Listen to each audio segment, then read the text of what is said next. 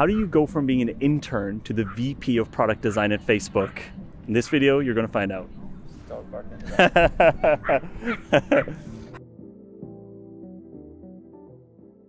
Julie Zhuo is the VP of product design at Facebook, which is one of the highest design positions you can possibly ever hope to get to, and certainly one of the highest design positions in Silicon Valley. In this episode of the Product Breakfast Club, you're going to hear from Julie Zhuo how she started as an intern at Facebook and worked her way up to this top position. Hope you like it, and if you do enjoy this conversation, there's lots more like it on the Product Breakfast Club podcast in all podcast apps. Let us know in the comments what you think and what I should ask Julie next time she's on the podcast. Have a great one. And today we have an amazing guest we are about to welcome in a, I think it would be safe to say, a product luminary. I'm not really totally sure what the word luminary means, how it's Neither different from I, the yeah. word, yeah, from the word star. It sounds better than star. It sounds And- older, I think. Okay, yeah. Well, Julie, you've, we've broken the third wall now. You have to pretend you're walking in, you know? hey, I heard that whole, you know, the whole singing. That was great. Oh, I, I was like, should I jump in? Should I start singing along? I mean, we could actually do a rendition with you, Julie, if you want. But At the end. At the at end, the we'll end, do a at the one. end. We'll give you the option at the end. Okay. So Julie Zhuo is with us today. She is vice president of product design at Facebook, and she's probably best known to everyone as an amazing writer on the subjects of management, leadership, building great products, product design, all those things. She has a huge following online, and rightfully so, because her posts are amazing. They're the kind of thing that I go back to again and again. I'm constantly sharing in my newsletters. They're just so insightful awesome stuff and the kinds of things that I wish I had been able to read earlier in my career. It's kind of stuff that's really hard to find. Julie joined Facebook as, I believe, an intern. Anyway, we'll get the whole Yeah. story straight from Julie. She's also the author of a brand new book, which will be coming out probably right around the time this episode drops. So pause the episode, order the book right Couple of copies. and then resume the episode. Uh, the book is called The Making of a Manager. It's by Julie Zhuo, and I've read it, and it is fantastic. It's this really rare, like, tactical how to guide for how to be a manager. And it doesn't matter if you're in design or not, it's going to tell you what it's like to learn how to be a manager on the job and all of sort of the hard won lessons that Julie has gotten along the way. So we're going to get into that. We're going to talk about the kinds of lessons she's learned later on in the podcast. First of all, Julie, just want to welcome you. So thank you for coming on. Thank you for having me. I'm super excited to be here. It's been so fun already. You know, we haven't even gotten started. yeah, we already wasted about 15 minutes of Julie's time trying to. Jonathan and I don't actually know how to record audio. What's a podcast? When there's Why do people listen to this? Yeah. we only have done like both of us and like a third person. You're only the third person, Julie. Yeah. The Oh, Previous people were, yeah, it was Jason Fried was one and Kevin Rose was one. And whenever we do it, it's a situation where like it's a guest we're really excited about. Not that we're not excited about other guests, but we're really, it's like it has to be a big deal. And we have no experience doing it. And it, we're always like really nervous ahead of time. And Jonathan and I are calling each other in the morning and like kind of freaking out. And then we totally botch the audio anyway. But it seems Don't like tell her, Jake. Ah, I know. I shouldn't have. I shouldn't have revealed all of no, our secrets. no, I'm honored, really. I, I, I'm like, you know, you guys have such a great dynamic, you know, in this podcast, and now I'm like this third wheel, you know, getting in there. So It's going to get awkward. You can only improve the dynamic. yeah, so enough about what a bad podcast this is. Let's talk about you, which is what people are really. That's the reason they're going to listen to this. So you've started at Facebook a while ago. Like, was it called the Facebook when you started, or like it was? It kind of had to be in that close to that era. Well, the URL was the Facebook. I think we were probably getting quite close to being able to adjust the normal Facebook domain. But yes, kind of saving up for, Yes. for the. How many people were at the company at that time? Like a few like a hundred or so, a hundred or Like a hundred. Yeah. okay. So the actual story is this was my senior year at college, and I was taking this class, this program that was about entrepreneurship. And it's this you know nine month course. It's really well set up. You know, you do spring, you read about like entrepreneurship. Then in the summer, you're supposed to find a internship with a startup. You know, so you can like really experience it firsthand. And then you go back in the fall, and you know, we do a lot more kind of debriefs, reflections. You know, more lessons. And so all of us were sort of set with the task to ask around and find a startup with which we could intern. And I would say that I cheated a little bit. Um, I was really excited about the Facebook because we'd been using it on campus for a few years. Plus, I had some good friends that had recently joined, and they were just like, "You got to come over; it's so fun." And so I sort of snuck this in. I was like, "Ah, you know, it's still startup. Yeah, it's still hundred people." All my other classmates went to like six or seven person startups. I think they got the like more true lesson, uh, but I think it was still very early stage as a company, and it definitely still had a lot of the startup-y atmosphere. Well, imagine where your career could have gone if you had done it right, Julie, if you hadn't cheated. so, I mean, 100 people, I've been inside enough startups to know that 100 people is still really small. Like, that's big. Obviously, Facebook had traction at that point, but 100 is tiny. What was it like building products in those early days? I mean, tell us about like what your job was and I don't know, just like what it looked like. Yeah, so I show up also, funny story. Um, I interview for this internship. I'm interviewing for a engineering position. You know, I studied computer science in college, and like I've been preparing like all week. You know, I've been doing like all these whiteboard coding exercises because you know, like you learn that like tech companies that's what they right. interview you on. Right, exactly. And I walk into this interview and I meet with four people and no one asks me a single coding question. so, not even one? Like no, not, nothing? No, not even one. Wow. There's zero code written. Like there were brain teasers, there were like, you know, some sort of puzzles and sort of algorithm types of questions. There was no actual writing code, which I thought was really interesting. And then for years afterwards, I was like, oh my gosh, did I just also like did they hire me as a mistake? Because somebody forgot to ask coding questions. well, why do you think that was? I mean, looking back now, you know that I mean, you must have been involved in hiring loads of people and seeing how decisions are made there. Do you think they just figured, like, gosh, given the context, of the referral, where you were studying, that they didn't need to worry about that part of it? Or what do you think? Yeah, it's possible. I mean, it was a very, very small company at the time. Like, it wasn't like, you know, there were a really robust process for interviewing, right? you know, I think a lot of people join, you know, because, again, people knew each other, they were friends or classmates. In those cases, it's like, you know, the first number of people that joined it, I think, you know, weren't being interviewed. Like, there wasn't even kind of a process around it. So I think this was still relatively new to the company. So I do get the offer, and then I start as an intern and I show up and I get assigned a mentor, right? So someone's like, hey, this is going to be your buddy, your mentor. It was Ruchi Sanghvi. She was Facebook's first female engineer. But then, you know, the first thing she says to me is like, okay, so what kind of engineering are you interested in? And I'm like, I like the front end. I really like, you know, I've been building websites for a long time. I really like getting into kind of like what users see. She's like, great, I'm going to sit you over here with the designers because I'm trying to transition to be a product manager, but like we don't really know what that is. We just know we really need one. so, you know, see you later. Like she she puts me in the table wow. with the designers and okay. Th- that's how it all happened.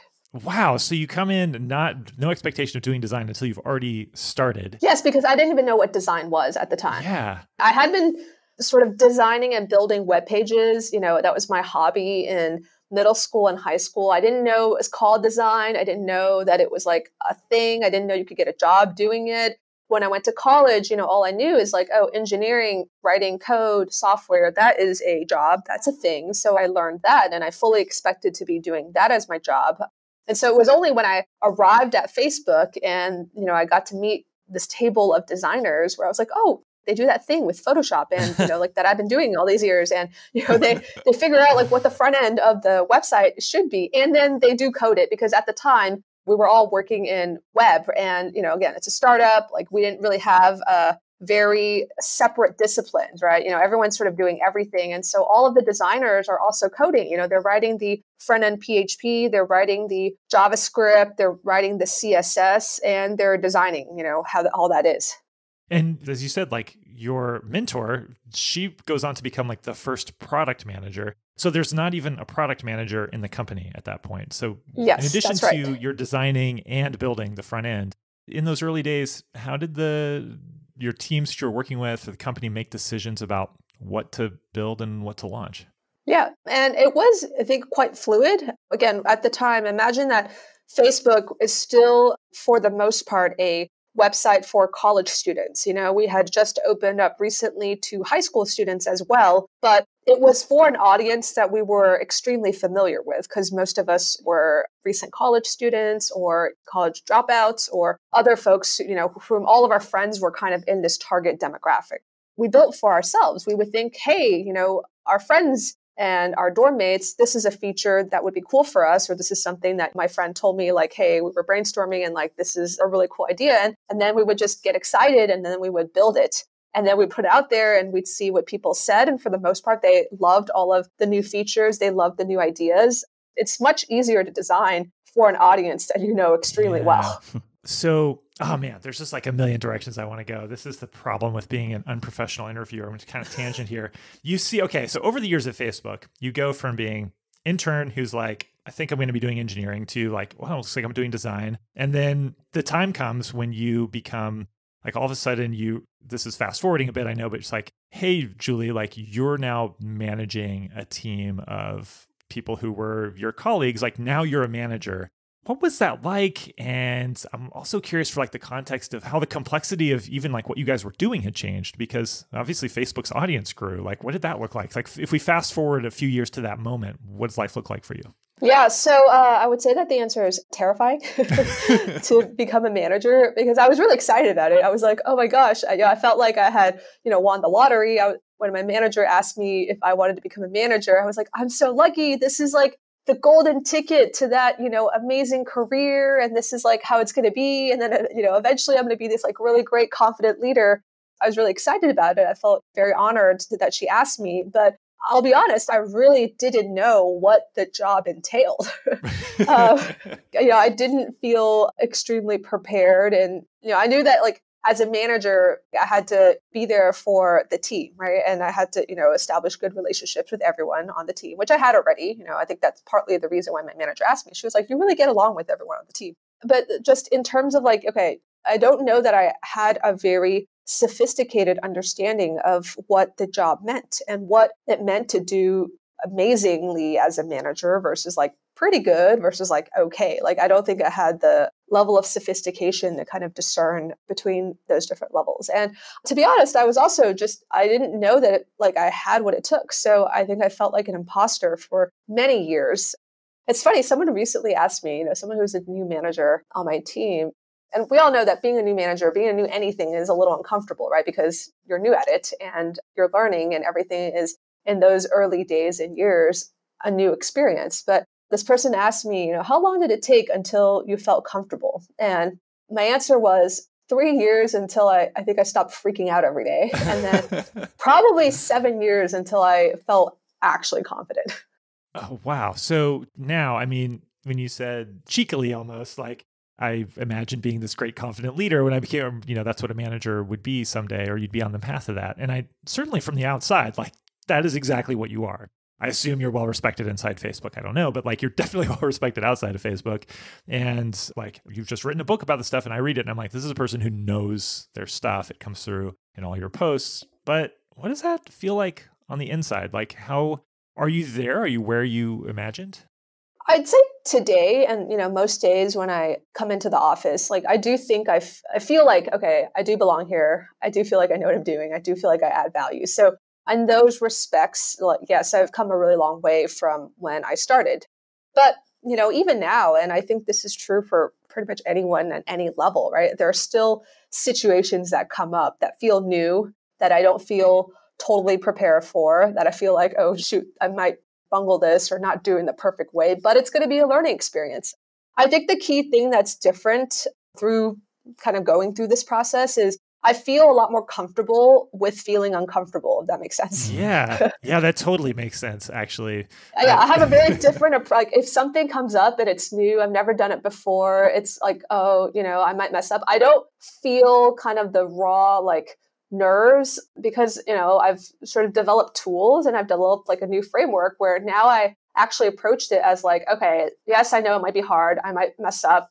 That's okay it's totally fine. Like it's actually extremely natural to not have things go perfectly the first time you do something or when you're learning something new. But I'm going to really appreciate this as a learning experience. And I know that if I fast forward a year or two, having gone through this, I'm going to emerge more confident. I'm going to emerge like with more knowledge. And so I think that's actually probably the biggest transformation is I don't think it scares me as much to do things that I've never done before. That's, I think, such a valuable way of looking at what we get from failure. This is a topic we've discussed before on this show, and something that, like, I always have a mixed feeling about when people celebrate failure because to me, failure feels horrible. And like, I mm-hmm. like when people say, like, oh, yeah, it's so great that we failed at that thing. And it's like, gosh, was it? It sucks. I hate the way it feels to fail. But I suppose what happens is you start to get a sense of like the pain that comes from the failure, like it teaches you something, but also like it's something you can endure and live through. And the reward of taking the chance or of being the person who gives the advice or whatever is worth it. I suppose it's almost like you the first time you like use a saucepan on the stove or you're you know you're frying mm-hmm. an egg or something and like mm-hmm. if you burn yourself like the first time it's like oh my god like I, am gonna burn my hand off. And then, you know you burn yourself and then, and then you just and, like burning yourself is it? Is yeah exactly. Yeah, yeah, yeah, right. Jake where are you going question. with this dude? No it's like you know like if I'm cooking well I'm a terrible cook but like I'm not like afraid to use the pan because I know like if I do burn myself it hurts. But it's like I kind of know where not to put my hand and I know that even if I burn myself a little bit like I'm gonna be able to move my hand away in time. It's going to be okay. I'm comfortable with the fear of the burning. This is a terrible worst analogy. one I've ever heard. it's the worst one. Yeah, that's literally the worst one I've ever heard in my entire life, Jake. Okay, let's let's, uh, let's, let's get. Julie, I'm sorry. Can we restart this podcast? well, the only thing is, I'm also a terrible cook, and I actually really don't enjoy cooking, so I can't even relate because I'm just like, get me away from you know oh, anything man. related to the kitchen. Yeah, I recently my wife is a great cook and really enjoys cooking, and she's the one who cooks in our home. But I really occasionally feel like I should do more of that work because it's a lot of work to do it. And so I, I gave her like a little card for Christmas this year, and I said, you know, I'm, once a week, I'm gonna Flynn, who's my younger son, he's eight years old. He and I are gonna cook dinner once a week this year, and so far, we've done it once. Uh, it's February. Uh, that is a really cute gift. That is like an amazing Christmas present. It's yeah. amazing if we had followed through and yeah. if the thing that I made was not toast. I made fancy toast. I was like, I know what I'm going to do because, you know, I really am aware of my limitations. So there's a lot of in San Francisco like fancy oh, toast. Oh, yes. Yeah. I mean, look, fancy toast is highly valued. You, That's why it commands such a premium price. Do you actually, Julie, do you have a favorite toast? Do I have a favorite toast? Uh, I like jelly and I like butter on the toast. I'm pretty simple. Do you, is there a place you, that you like in San Francisco or in the Bay Area for toast? Do you have like a go-to toast? I think the only place that I've had really amazing toast is uh, the Mill. The Mill, oh yeah, Francisco. Yep, yeah, sure. I really like their toast. That was actually our, our inspiration point because it's right yeah. by my son's school, so we would sometimes get toast there. Anyway, we made some toast. I got to move on. I'm I'm destroying this interview. I like the toast convo because um, today uh, was the first time that I had what you guys would probably consider to be toast in Berlin because like a kind of hipster San Francisco style cafe opened in Berlin and I had toast and um I was pretty surprised that it was a piece of bread that was toasted with some melted cheese on it. What are they doing with the bread normally? They're not toasting it? We just wouldn't consider that we, we just wouldn't consider that to be a, like something you'd buy and eat. It's just like something you'd make at home oh, when you don't I have see. anything else. It would never be served anywhere right, in a reputable right, institution. Right, yeah, like I, I got it with cutlery and everything, and it was like some fancy splashes of brown stuff on it, and I was like, yeah. it was like six dollars. Yeah. I was like, this is this is just a piece of bread, my man. yeah, that's what's so great about it. Well, speaking of products kind of coming out of nowhere, things that didn't exist that become really valuable. You saw, so Julie, so you saw Facebook go from this thing, it's like a thing for schools, and yeah. it becomes this just like, I imagine the process by now, like, how big is your team now, or what does your team look like? What's it composed of? What kind of people are you managing? Yeah, so I manage the design team, the product design team, and we're responsible for the design of the Facebook service, the consumer Facebook service. So most of the things that you would interact with and feel is part of how you know Facebook to work, that's the stuff that my team works on. And what is and Facebook? We're in the hundreds of people now. Facebook? I don't think I can give you an exact number because I don't think I'm allowed to give okay. you an exact number. Okay. Oh. Uh, but we're in the hundreds. Okay, hundreds. And hundreds is that's a lot of people for you to manage. But I know compared to some other like tech companies, hundreds might even be on the small side, given what a large service Facebook is. Are you managing people who have a lot of different kinds of expertise, or are they all sort of product designer generalists? Like, what's the makeup of that team? Yeah, so we have product designer generalists. I, but I actually think product design or design in general is even saying you're a generalist. Like there's so many facets to product design. And so I think, you know, lots of people come in with things that they're really, really great at. Like we have people who are really great at the visual aspects, interaction, systems design, architecture, some people who are just great at uh, being able to kind of frame and do a lot of the early stage conceptual work versus people who are really great at like sort of detailed, thorough, like we're going to understand, you know, and do a lot of research on like how these markets and, and these people are. And we're going to go and make like tons of little tweaks and then we're going to make the experience better. So, you know, a wide range of, I think, different specialties, interests, skills, strengths across that team. We also have a small team of design program managers or producers. We also are building an art team and folks who are uh, have a lot of expertise in the brand illustration and art side.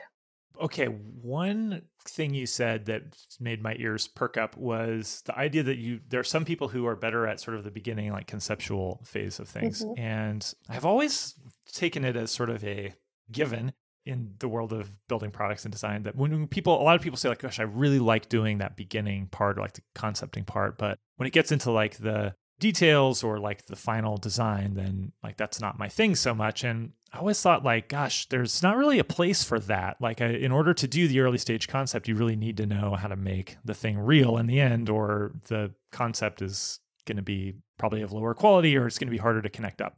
That's always been like my bias. But that sounds like that's not the case for your team. How does that work? How do you have people who are doing just that part? It's really important for us that you know no one is like in a box right? Yeah, so it's not yeah, like hey yeah. you're going to do this thing and you're going to keep doing that little narrow slice of the product development process forever. I don't think that that is the best thing for both what people want to do and like you don't i think get the best work by trying to constrain you know the problem set in a really narrow or limited way for someone. I really do think that people do their best work when they feel full ownership over a product right? And when they feel like at any stage, you know, they have a great idea or they have a suggestion for how something can be better it's because they care it's because yeah. they care about the final thing and you know they should be able to contribute at all manners. But we again as people there are things that we naturally gravitate to right and that really feeds our interests and our strengths. And so you know over time you know there might be areas that i just personally like to work on more than others. Yeah, yeah, and i think that is actually different for um, many different people I think that, you know, creativity can be found in basically any part of that, right? I think having a bunch of constraints and then knowing, you know, how to take that and build something that is the best for the maximal number of people, like that requires a lot of creativity. I think some people would say that and be like, oh, that you can't be creative unless you have a blank canvas. But I actually disagree. I think you can be creative in a lot of different contexts. And I think the problem space is a little bit different. And the things that you need to uh, really think about or your approach to the problem needs to be quite different if you're sort of looking at, let's say, a mature product and figuring out what the next iteration of that is versus if, again, you're looking at a very blank slate, we have nothing yet. And so let's figure out what even the first version looks like. You do need to kind of use different muscles or kinds of ways of thinking to approach those problems. So, taking that idea of like a mature product and trying to figure out what comes next for it. So, you're running the product design team. That's uh, actually like a huge responsibility for this product that you saw start off from this thing and just like take off and become just billions of users. Like it's so ubiquitous that you know, a lot of us probably don't even think of it as being a product someone like actually thought about how to build and made all these tiny decisions about so Facebook does stuff. It's in the news, and like Jonathan and I will talk about it. And I'll be like, "Oh, I can't believe this happened," or that, or like, and it's hard when you have a thing that's used by so many people and used so much of the time. So we're not going to get into like controversial questions with you about it, but I am curious as you're leading this team. It feels almost like I imagine like there's just like this booster rocket that's just been like blasting and like this thing is just taking off like crazy. And you I imagine you almost have to like figure out like how do we like steer this thing that's just going like hundreds of thousands of miles an hour? How do you steer the product so that it matches like your values or the values you feel are appropriate for the company? Because product design, that's where the rubber meets the road. That's where it all sort of happens. And as this thing is taking off so fast and so many things are happening, like I'm just curious what guides you and how that stuff works its way into the day to day process. You know, I think if you're designing, and I think to me this is a, the big difference between like design versus art, right? I think art is a lot more about personal expression. It's a lot Yeah. more about kind of, you know, connecting with humans over these common threads. And, you know, it's quite personal. I think design, you have to sort of start with like understanding what's my audience or what's my target audience and like what am I trying to do?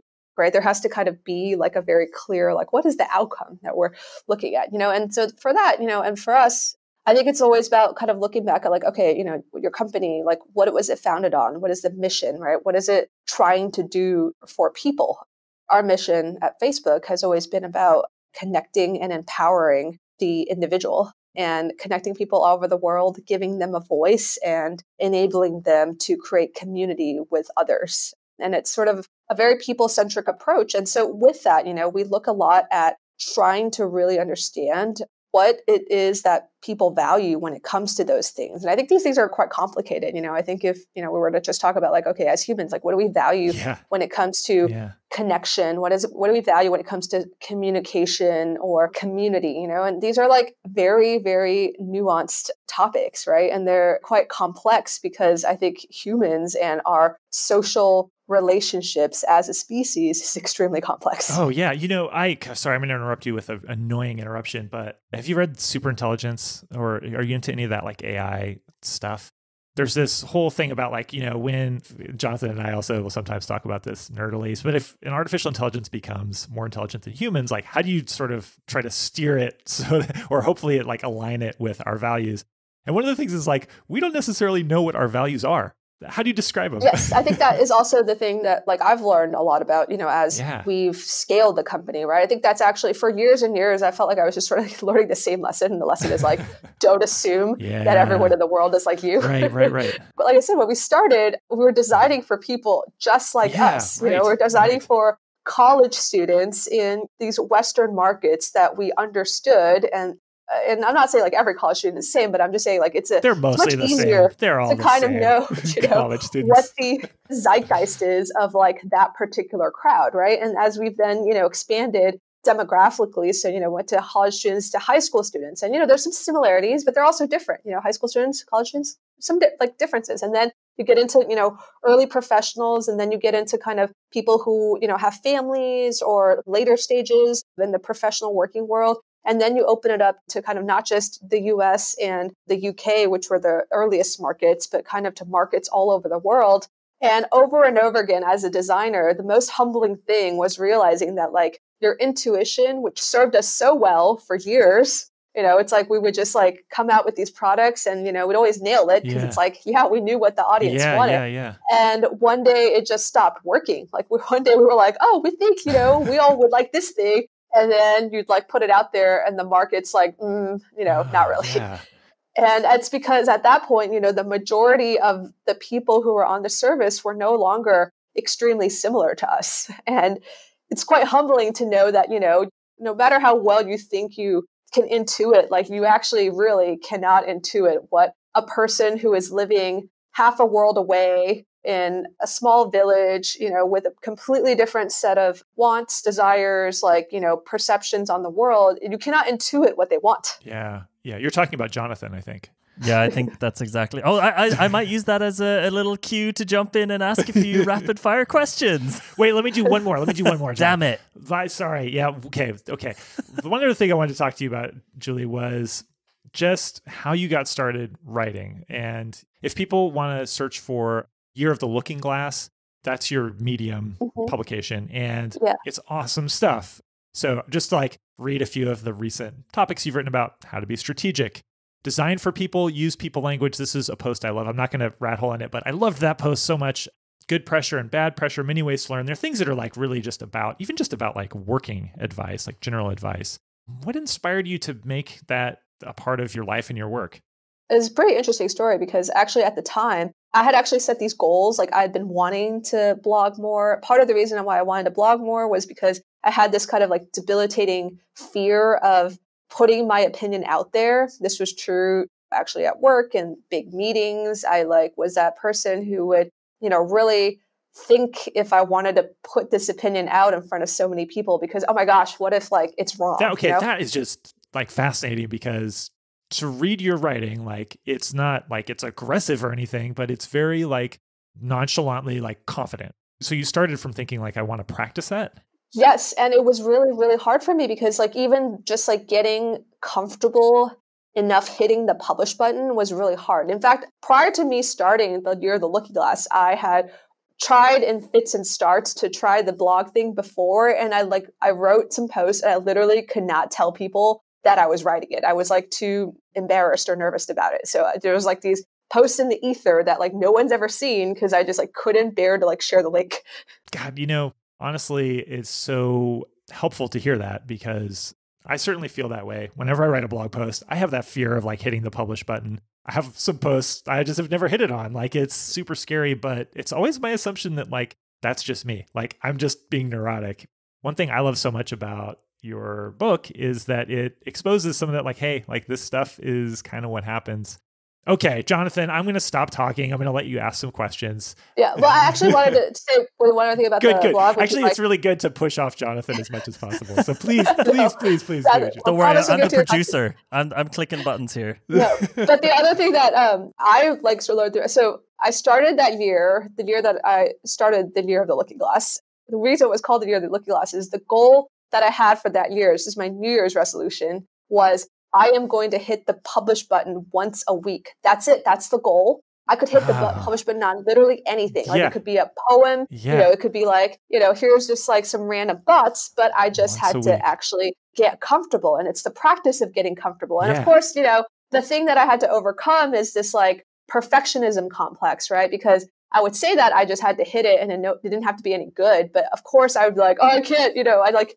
clearly I want it to be like pretty good. And so I think in those first, I would say like 10, 20 articles, I spent like so long on each one. Like you would not believe, you know, like it's not a very long yeah. thing. And it would be like a 20 hour endeavor over the course of That week. doesn't surprise me. You know, like I spent like all Saturday, Sunday, you know, evenings, but I like, I was really dedicated to my goal. I really wanted to not fail at it. And I think I succeeded for that year. I actually did hit the publish button. There were 52. some weeks where I was like, I had no time. Here's like an old thing I yeah. wrote in college. I'm just going to hit the publish button on it. But for the most part, I was able to get like, you know, you do it again, there's 52 weeks in the year, right? And, you know, again, if you write like 40 things that are new and then, you know, you borrow some old material for the other 12 because you were busy those weeks, if you practice just literally writing 40 things every week, by the end of the year, I was so much more comfortable with it. You know the ability to then write a thing or put it out there without spending 20 hours on it like that became much easier. And i was like kind of amazed at how you know just like practicing that for a year really made a pretty big difference. And it allowed me you know even at work and in other contexts to feel more comfortable putting my opinion out there. So you know that was one of the rationale i had to start it. And it actually it worked. It was extremely effective I got so much out of that practice that I just continued I now think more linearly. You know, I think it's maybe weird to say that, but like it used to take me a really long time to just like map out what was in my head and put it into an article. But through the course and the practice of writing for at this point, you know, four or five years, my mind is now trained to kind of think in terms of like a more structured and linear approach. And so I think like an article, and you know that and that's actually yeah. a, made me more effective at explaining things in meetings or framing problems because I've just trained my mind to kind of think in that way. So it has been extremely rewarding for me personally, and that is also why I continue to do it. God, that if you haven't written that up like as a post about how it went from that experiment to like what it did for you at work and what it did for your thinking and what it did for like setting you up to write the book that is an amazing post. It's so yeah, inspiring to think about starting from that point, like you were doing it actually to build confidence at work. And it, God, that's super cool. Jonathan. We should let Jonathan talk. We do have seven minutes left. So I'm going to pick and choose these quick fire questions in not necessarily like a really nice, clean order conversationally. I'm just going to blast them at you if that's Julie, okay. do you need to run it 10? Uh, let me check. All right, give me just a sec. Keep this in, Jason, please. Yeah, this is good stuff. I do need to run a 10. Okay. No worries. Okay, so yeah. now you only have six minutes. yeah, I, I, was planning on it being fast, so don't worry. Okay, so okay. like it, for me, the title VP of Product Design at Facebook, it's just so crazy, so impressive. But what do you do? Yeah, what do I do? That's a great question. So um, I spend 50% of my time thinking about the organization and the health of the organization. And so that involves recruiting, that involves like one on ones with my managers or meetings with folks on the team, that, you know, involves like a lot of the operational logistics, like headcount planning or just, you know, hey, here's a new program we want to introduce into our team that's going to, you know, maybe help individual contributors develop these skills. So, you know, a lot of just thinking about like what does the team need to be successful, to be productive, to be happy, you know, to continue to support our growth and continue to do good work. So that's about 50%. And the other 50% of the time, I'm thinking and focusing on kind of our products. So that involves sort of thinking about like things like, well, what's our strategy? Or like, what does success look like for this product? Or even just reviewing design work. Like, here's what we think this should go in the future. Like, let's all talk about like what our goals and like, let's actually, and, and getting down occasionally to kind of looking at pixels and specific critiques. But that's actually, I think, a much smaller fraction of my time. I think it's a lot more about it is just like trying to make sure we are aligned on what success looks and feels like. Mm, okay. And so if we're talking about like you mentioned strategy and, and you're talking about like what does success look like, where do sort of like the new initiatives come from? Like when new products or, new product ideas are coming up, do they sort of come from the top? Do they come from the teams? Or is there like a company, okay, we need to grow this specific metric. And so your team has to figure out what the product will be? How do new things happen? Yeah, so new things actually come about usually in a very organic, bottoms up way. And, you know, occasionally they come tops down too. But I think the key thing is that if we are all aligned on what, again, wild success looks like, what a great idea is, and here are the dimensions, and here's why, because it's going to be able to do X, Y, and Z. Those are the kinds of things that I tend to spend a little bit more of my time thinking about because I find that, like, uh, especially across like a lot of different people, making sure that what you think success looks like and what, you know, if I'm saying, hey, Jonathan, go and develop some amazing new concept for me. Okay. If your idea of what amazing is and mine are different, then it's going to be like a lot of issues down the line, right? You're going to come back and you'll be like, I love this thing. And I'll be like, I don't think this is what we should do. And you'll be like, why? Mm. It's amazing. And, you know, we haven't aligned on the core thing, which is like, what is amazing? Like, what's our criteria of success? Well, that would never happen with me, Julie. But actually, what I'd be interested to know is are these codified? Are these written down? Are they principles? How do you avoid those scenarios?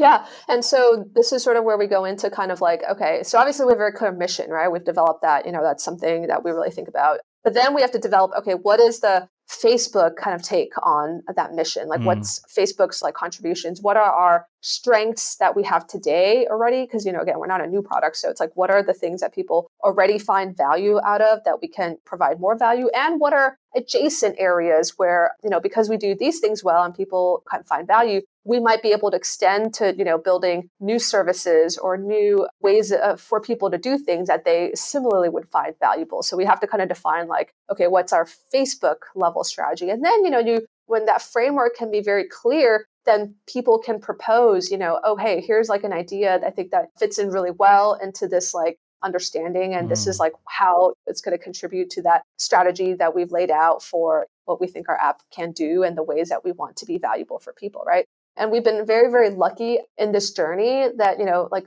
we have a lot of resources at our disposal, right? Like we have like really talented people and, you know, we're in a good place with like being able to spend money or invest in various initiatives. But sometimes like if you could do anything, there's the question of like, well, how do you choose what to do? Yeah.